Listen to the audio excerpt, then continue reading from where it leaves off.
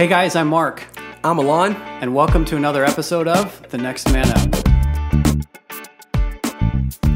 Listeners, welcome to another episode of the Next Man Up podcast. We're excited and honored to uh, to have you join with us for the next several minutes. As you know, we are about raising up the next generation of men of character and men of faith. And, and the topic today I'm excited about because we get to inter, in, intersect sports, which which I enjoy, and qualities of, of fatherhood and manhood that we want to celebrate. And so excited to get into that. But before I do, I'm always honored to be able to share this platform with my friend Alen. And so, Alen, welcome. Good to talk to you once again, brother. Yeah, man. Likewise, man. Thanks for having me on as your partner in crime, and I want to thank you for being my partner in crime as well. Absolutely. Is it crime? Um, is it crime or is it just a good thing? It's a good thing. it's a good thing. Absolutely. Yeah. audience, thank you for listening this week. But thank you for being uh, downloading our stuff and our content and listening. And um, as always, we're we're grateful. So yeah, let's begin. Yeah, and and you know, I'm I'm grateful that we're actually having this conversation because there for a minute that the technology was not really cooperating with us. In fact, it was oh. it was it was yeah. quite conspiring against us. So I think I think we've got the the bugs worked out, and uh, we, have got it such that this is going to work. So um, so yeah, so. So here's here here's what caught my attention. Um, uh, Alen, are you a hockey fan? Uh, I know. I, I I'm one of those fair weather guys, man. Uh, when the Boston Bruins are doing well, that's when I start cheering. But I really couldn't tell you much about hockey. Yeah. Well, I, have I've always been an ice hockey fan. Um, grew up playing pond hockey and some some pickup rec hockey, and I was never any good. Um, but I enjoyed the sport and I enjoy following the um, the NHL and, and and the you know the local team here, the Blue Jackets, is doing fairly well. Again, although they're they're on the bubble. Um, by the time this episode releases, we should know whether they make it to the playoffs or not. Um, oh, but but they're having they're having a, a relatively good year and so it's good for the city. It's good for youth hockey. I just I just get excited about the energy that a successful hockey team brings. But th- this this topic today isn't so much about the sport as it is about the really the dads behind the sport. You know, the these guys are they're on another level, right? They are they're driven, they are genetically special because they're they're wired to play whether it's regardless of the sport. You know, they're playing at the highest level possible for their sport. Yeah. And so that just sets them apart. Statistically, genetically, mentally, they're they're just they're just high high caliber and capacity people. But they still put their hmm. pants mm. pants on one leg at a time.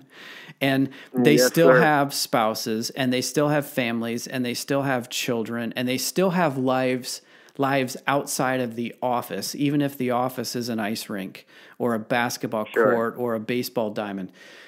And so I, I came across an article recently in uh, in the local paper about the captain of the Blue Jackets. His name is Nick Foligno, and I've known for a while he's had some some real struggles within his family, particularly with his uh, with his daughter. Uh, she she was diagnosed early in life with a uh, with a heart condition, like a, a um, I don't know if the right terminology is genetic or a congenital heart issue, but she had surgery when she was really young. And oh, um, so, it, you know, it, he's a he's a local guy, and so his family gets local coverage. And so, um, I've known about this for a bit, but what I didn't realize is just how much struggle he's had over the past year. And okay. you know, when when when these guys have challenges at home, it puts a lot of pressure on them to to decide. Sure. Am I going to be yeah. a father or a spouse, or am I going to be a, a teammate? And, and in this case, uh, Foligno is the captain of the team. So not only is he carrying the the responsibility of being a a team member. He's also the effectively the leader of the team, right? Um, yeah, absolutely. So he and his family have been through a lot this year, and a- as a result of that, he got nominated for an uh, an award that um, that hockey writers, like the the sports writers that follow the game, they they have the ability to nominate certain players for this award. And the the award is is the Bill Masterton, Masterton Trophy, and, and and it's tied to perseverance and sportsmanship and, and dedication to hockey. So not so much performance, but like character, right? How how do you how do you show up every day? So he's nominated for this. But part okay. of the reason why he was nominated for this award is because he's been he's been a dad over a captain for second heart surgery for his daughter, a a life threatening bout with pneumonia for his 22 month old son. And then on top wow. of that, his his middle child had a had a broken leg for an extended period of time earlier this year.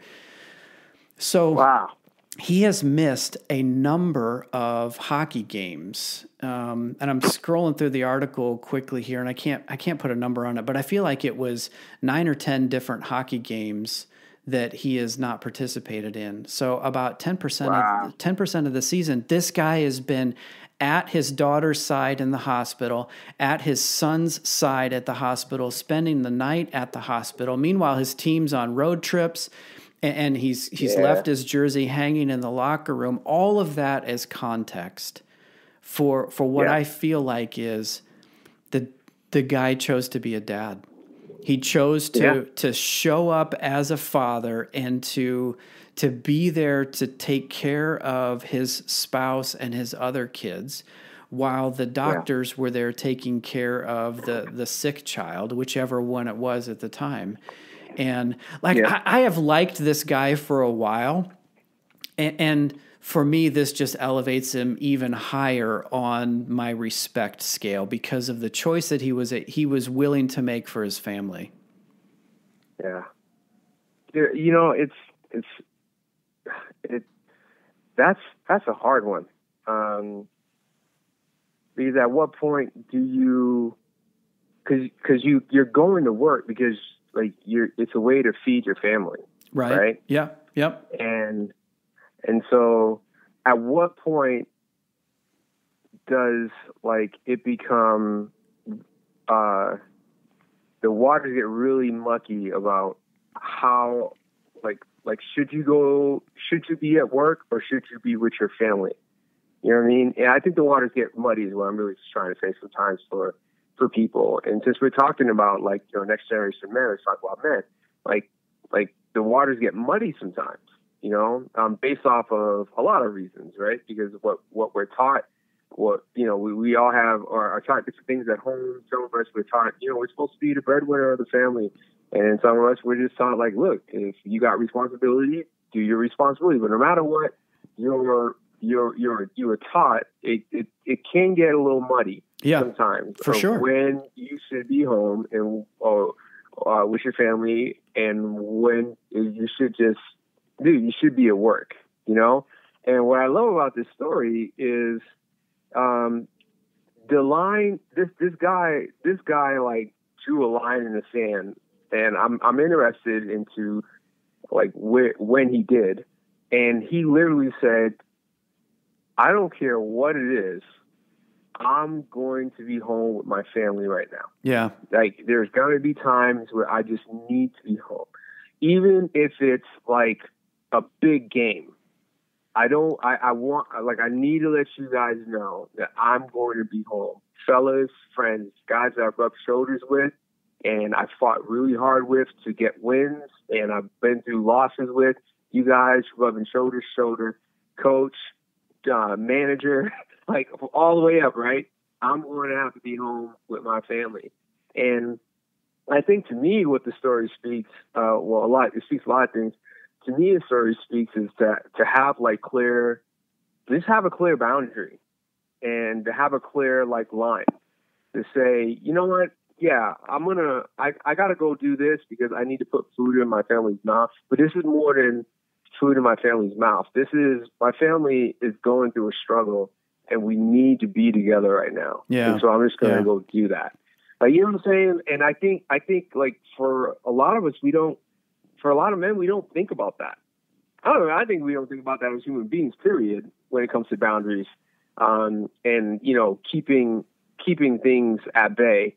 But since we're talking about men, let's let's talk about fathers. Let's talk about like men right now, and just point out that men, it's dude, it is hard.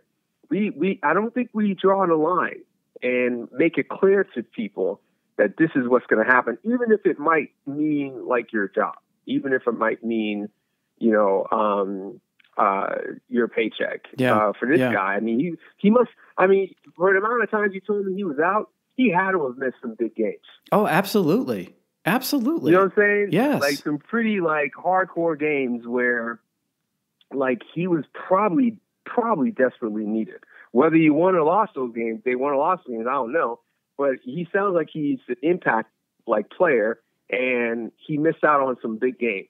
But yet he's okay with that because like he knew as a man, like dude, this is this is who I am. This is this is what I do. This is part of like my principles, my values, my character.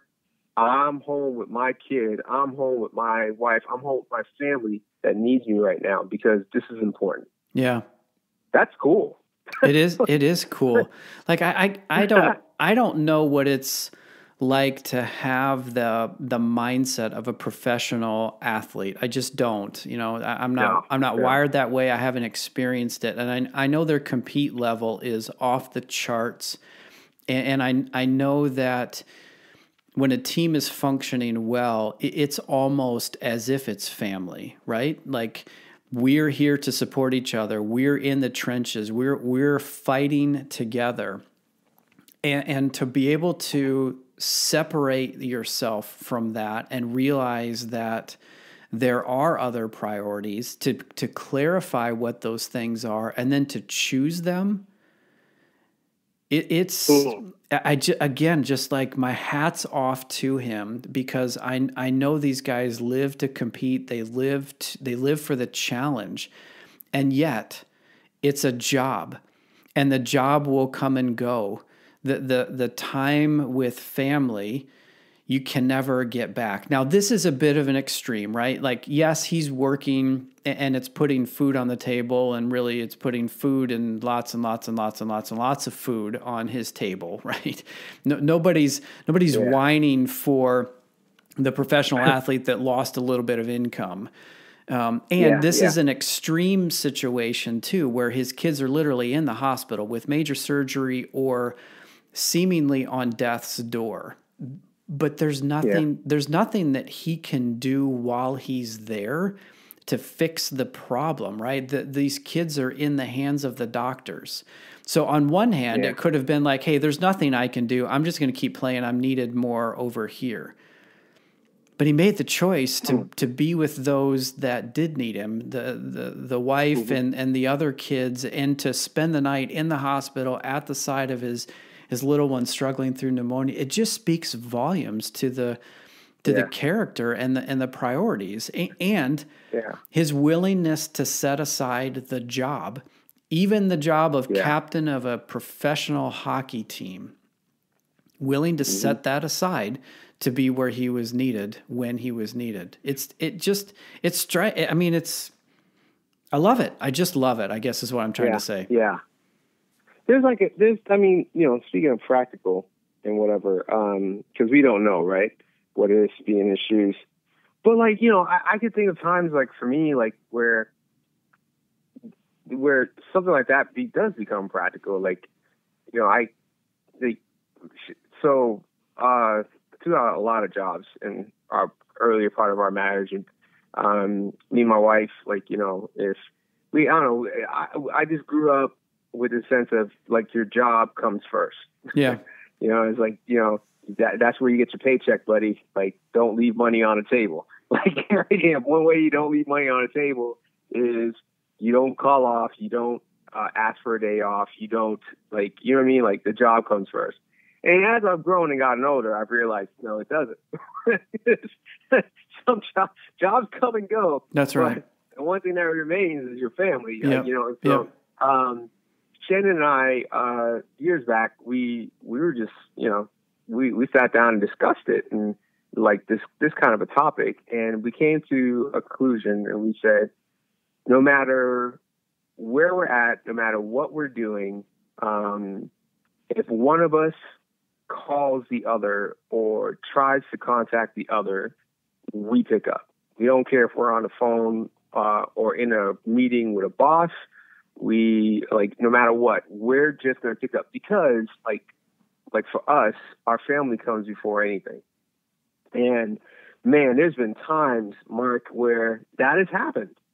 And I I will I mean it feels it felt awkward at first because I wasn't used to it, but I, I and I explained that to my employers um, since then. Uh, and and you know my, my wife and I we've worked out like okay like, you know we're not just calling to say I love you Right. like, right. like right. you know what I'm saying this is like no this is important if I'm calling you it's important pick up the phone um, or if I'm texting you it's important text me back even if it's something simple like hey can I give you a call back like just just the pickup gives the other person like a sense of okay you know how serious this is and you're gonna get back to me as soon as possible right. Yeah. um, but there's there's been times where I've been in a meeting with a boss and I can feel my phone vibrating, and uh, I I'll say, "Excuse me for a moment. I need to take this phone call. It's my wife." And I, there there was actually a time I was on a stage, like uh, speaking, and my wife called, and I even told people, like I said. I, I I'm sorry, but you got to excuse me for a moment. Wow. My wife is calling, wow. and I took the call. Um, and you know, and I made you know, I, I'm it, and for each situation it's different. Like you know, the boss was like, huh, you know, kind of gave me a little like, huh, wow, okay, you know, I and you know, he didn't ask me about it later or anything, but it was more of just like he gave me a look of like that's pretty impressive. Uh, but I I was scared like he's gonna fire me, but I was fine, you know. And for the stage one, you know, I made a joke out of it, and like you know, I'm like uh, you know, hey babe, I'm on stage. Yeah, say hi. you know? Right. Right. And and and and you know, she and you know, she she shared with me what it was about, and I was like, okay, I'll give you a call back right after this. So, but like in each instance, like you know, I've I've I've had to stand firm because like I want to I want to be a man who takes care of his family. I want to be a man who puts his family um, above a lot of things, um, including my work. Like, but but that doesn't mean that I have to skimp out on a job. I think I just need to communicate that. And so after I've been communicating that to people, um, it's been okay. you know what I'm saying? Um, and and and and I think like for like people listening are like, well, how do I make a practical thing out of that? I'm not a, I'm not an international like you know a national hockey player um, or you know a talented whatever making buku dollars where I can leave work. It's like no, I think if you can generally just communicate that you know, hey, there's going to be times where I might have to uh, uh, pick up a phone or I might ask for a day off because of the situation happening. I need to know that that's okay. You know, and Yeah. I want you to know that that uh, that that's where I'm at. I'm not dilly dallying. I'm not just playing "I love you" on the phone. I'm not, you know, um, answering a question about what chicken I want tonight. Like it's not that. This is a it's a serious moment. You know what I mean? And I need you to understand that if I if I do this, that, that it's okay. I, I'm I'm a good employee and I work really hard. And so, if people are thinking of a practical way to make that practical in their lives right now, Yeah. No, I it listening to you share your experience takes me back into my my corporate days, and I I, I always would tell people family is important, family is my priority, and and so the, those words would come out of my mouth on on a regular basis, and and for the most part, I attempted to to live accordingly, um, but but dude, I'd be lying if I if I said I never got wrapped up in the moment of whatever was going on at work to the detriment of time with family. And you know, it, it's just kind of it's man. it's this sense of duty to your to your workmates and um like the work comes before all. And I, I never would have said that, never would have articulated that, never would have said that I even believed that. In fact, I would say the opposite. I never believed that work came before all, but there were enough times where I let it happen because I'm in the yeah. moment and th- this this thing that we're dealing with, uh, call it an emergency, if you will, um, it felt like it was a life and death situation because of the way people were reacting. And so I just got wrapped up in it. And as a result, yeah. I didn't make it to where I said I was going to be. I didn't make it home when I said I was going to be home. I, I didn't answer the phone when when the call came in, whatever it was. And and Kristen and I didn't have the same type of system worked out like you and, and Shannon do. But dude, there were times where my actions were inconsistent with yeah. what what I believed to be true. Des- yeah, yeah, and despite yep. my best attempts to create boundaries, ultimately that led to an exit. You know, my my the yeah. the fences that I'd put around the non-work life were obliterated by work, and I'm like, this is I can't continue to live like this. I'm inconsistent. I'm out of alignment this is not who I want to be. But even well before then, there were times where the work took priority. And, and, and here's the stupid thing it was not life and death situation. These emergencies yeah. were just manufactured um, anxiety within that within that bubble that I was in. We were not fighting for uh, the Stanley Cup or a world championship. Like it was just it was everyday nonsense. It was everyday crap yeah. that we were dealing with that somehow rose to the level of urgency that that caused me to set some of my priorities aside for for the job. And hmm. so, you know, just hearing you tell your story takes me back into numerous moments where I I did the same thing. And um so they're not they're not and, fatal, right? They're they're not fatal no, situations. No, no. But if we're not careful, they can become habits, and they send a message yeah. that um, you know the, the way we spend our time and our activities often says more than how we how we use our words, right? Like the yeah, the the yeah. doing is different than the saying. And, and anyway, um, I, I think yeah, you know what I'm saying. No, totally, man. I you know I just because I want I want to drill down a little bit here because I think we're hitting on something. Um, you know, I've, I've made the same like agreement with my kids as well. If daddy is somewhere and you need to talk to daddy, um, for you know, I want you to know that you can call me, you can text me, um, and whatever, and that I will answer you back uh, because I want you to know that I'm I'm here for you. Like you know that that you're important to me. Um, and I've said that, you know, and, and that's been good. And that's that's I think that's one area in where I I'd say our family has won. But you know, like just listening to what you're saying, like like there's been balls dropped too. Like you know, I I was leaving one job and going to the other, um, and one of a, group of my a group of people were asking my daughter like, "What's what do you think of your daddy like leaving this job and going and doing something else.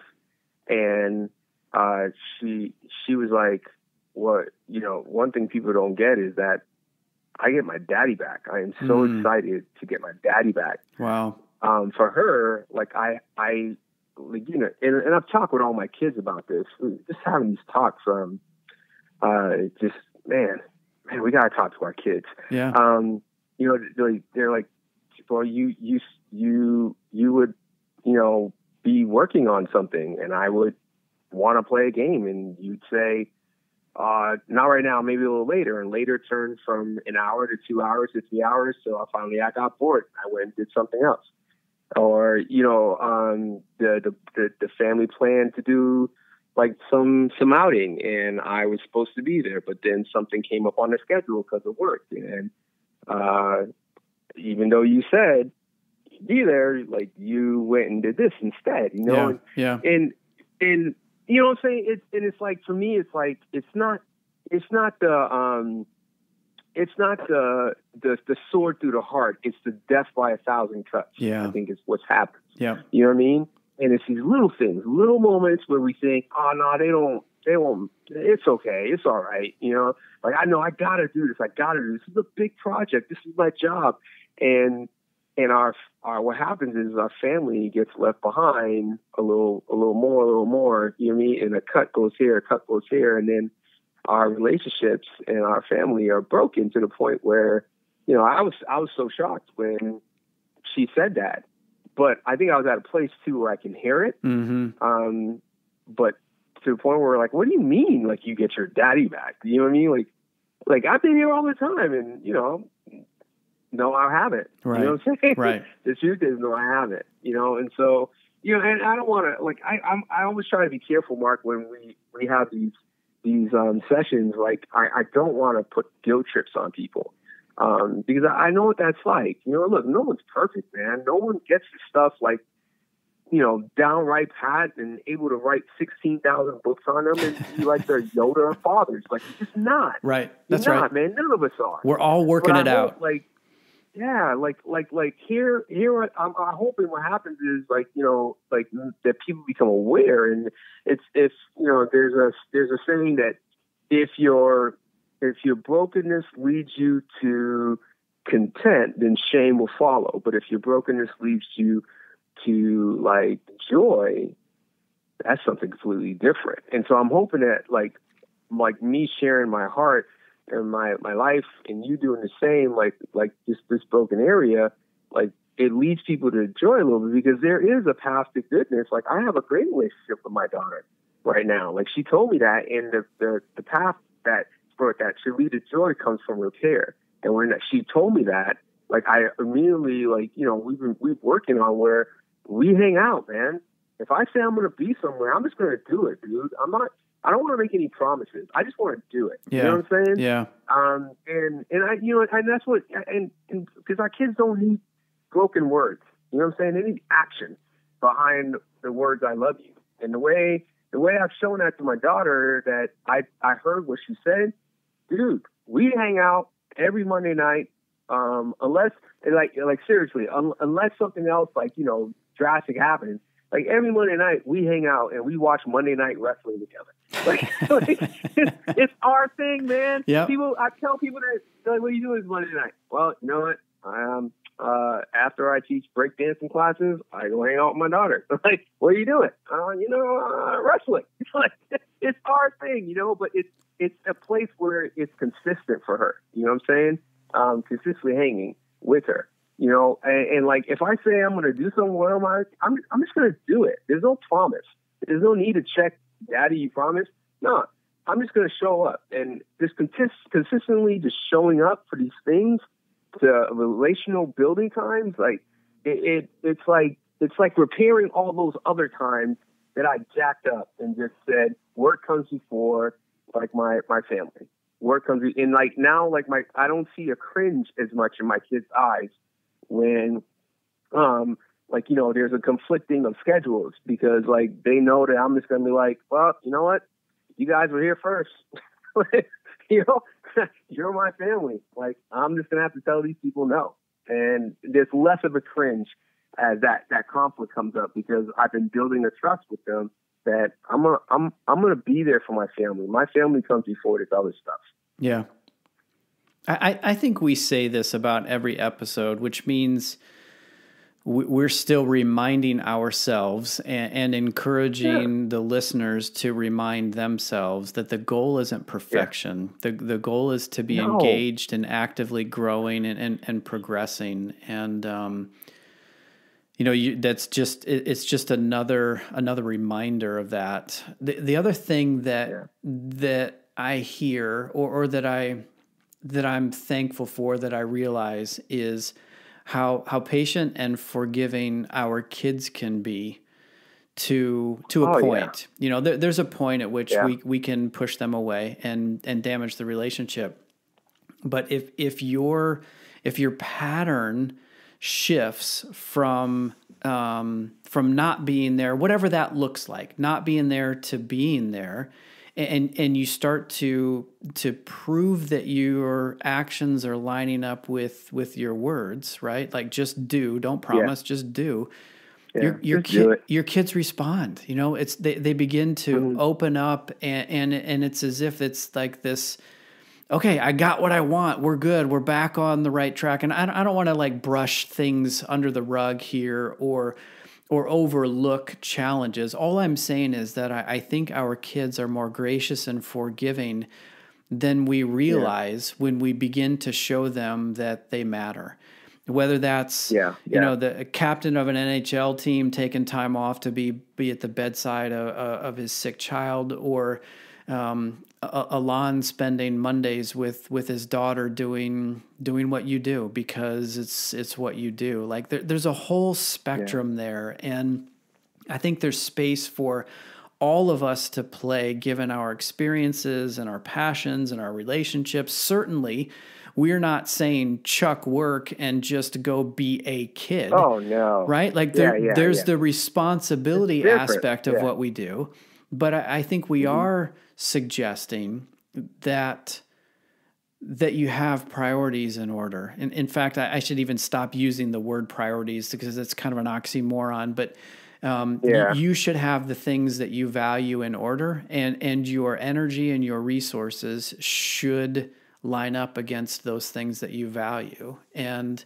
um, and and what we're saying is, look, if if you want to be about actively engaging as a father and, and intentionally raising up your son to become a man, well, it, it, it's going to take focusing on him and, and choosing him and the family over the job when when it's required. And um, boy, if you're willing to do that, the rewards are big, man. They are.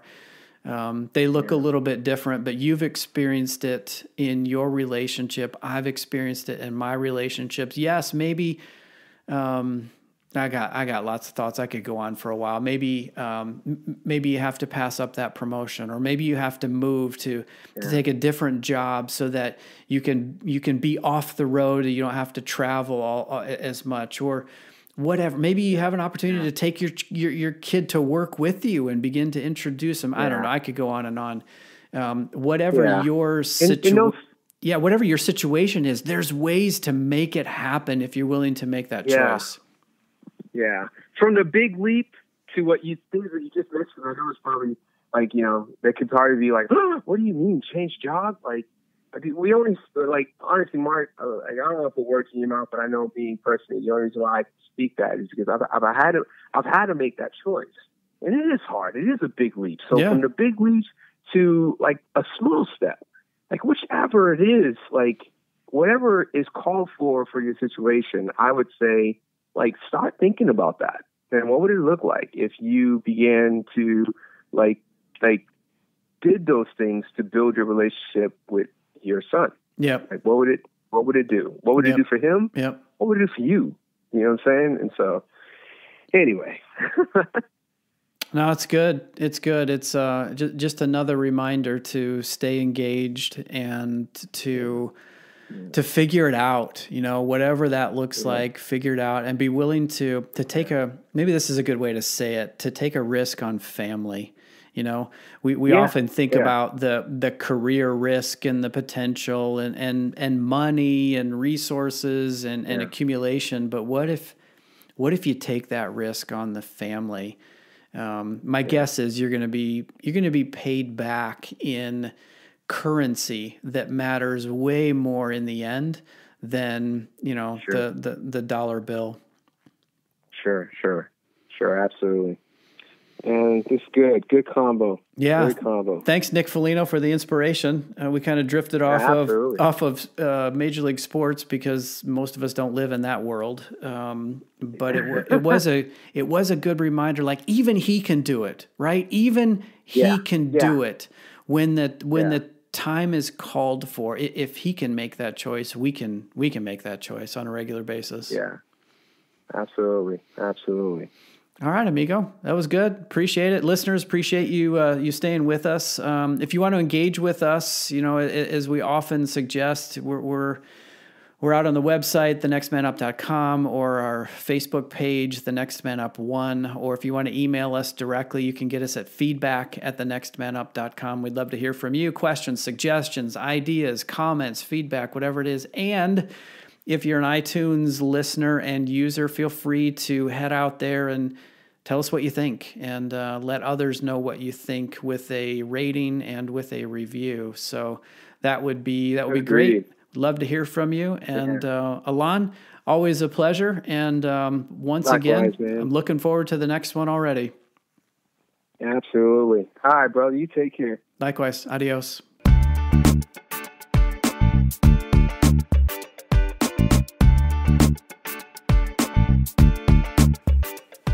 Hey, listeners, thanks for journeying with us on this Next Man Up podcast.